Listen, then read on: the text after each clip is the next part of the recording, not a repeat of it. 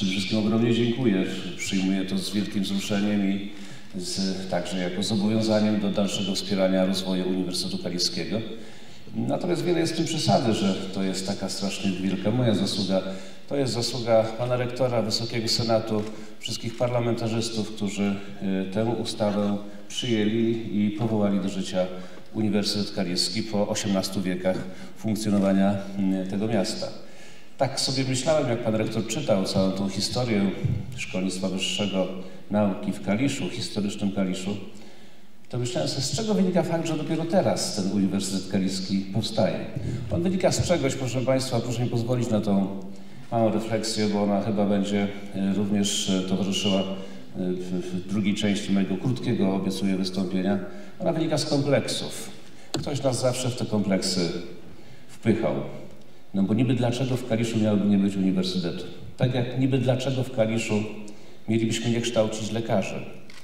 Te kompleksy są niestety widoczne u Polaków i musimy się z tych kompleksów leczyć, bo nie mamy prawa mieć żadnych kompleksów.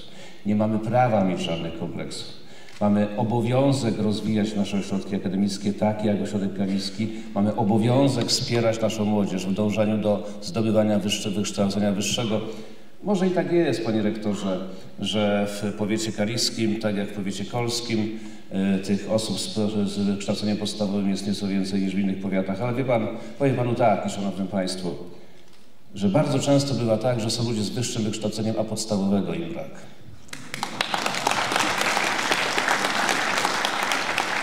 A ja znam ludzi z powiatu kaliskiego, zwłaszcza z tej części w kierunku Opatówka, Koźminka i dalej. Ja wiem, że są to często ludzie z podstawowym wykształceniem, ale gruntownym, patriotycznym podstawowym wykształceniem tego powiatowi kaliskiemu życzę. A Uniwersytet Kaliski otwiera swoje, e, swoje drzwi bardzo szeroko dla wszystkich tych, którzy chcą się kształcić właśnie na studiach wyższych, także na kierunkach medycznych, także na kierunku lekarskim. Jest proszę Państwa tak i te statystyki, które Pan Rektor podawał też są niezwykle smutne, ale one są do szybkiego nadrobienia.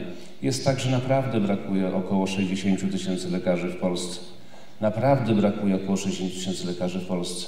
Jeśli brakuje 60 tysięcy lekarzy w Polsce, a niektóre instytucje, których nazw przez litość nie będę wymieniał z tej mównicy, Szukają tylko dziury w całym i potrafią tylko jątrzyć, zamiast troszczyć się o przyszłość pacjentów polskich, to to też wynika z ich kompleksów strasznych, tych instytucji, które i tutaj podkładają ogień. Chciały podłożyć, ale nie podłożyły, proszę się nie przejmować, pod coś, co funkcjonuje znakomicie. Kierunek lekarski został znakomicie oceniony w Kaliszu, ma wszystkie absolutnie zgody, ma Uniwersytet Kaliski wszelką bazę konieczną do tego, żeby kształcić na najwyższym poziomie lekarzy, a wraz z panią minister Katarzyną Sujką przed kilkunastoma dniami podpisaliśmy rozporządzenie, którym wprowadzają nowe standardy kształcenia lekarskiego, jeszcze wyższe standardy kształcenia lekarskiego wszędzie, od Uniwersytetu, od Warszawskiego Uniwersytetu Medycznego po Uniwersytet Kaliski czy Uniwersytet Zielonogórski. Także proszę się nie przejmować, apeluję tu do wszystkich, którzy chcieliby jeszcze podkładać ogień, nie przejmować się, tylko pomóc w kształceniu lekarzy,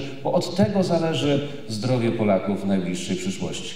A panu rektorowi, Wysokiemu Senatowi, wszystkim pracownikom ogromnie dziękuję. Powtarzam raz jeszcze. Podjęcie się trudu kształcenia lekarzy to nie jest bułka z masłem, to nie jest przywilej. To jest ogromne zadanie, niezwykle kosztochłonne, czasochłonne, niezwykle odpowiedzialne. Dlatego tym ludziom trzeba tylko dziękować i bić brawo za podjęcie się tego zadania, a nie przeszkadzać. Ministerstwo...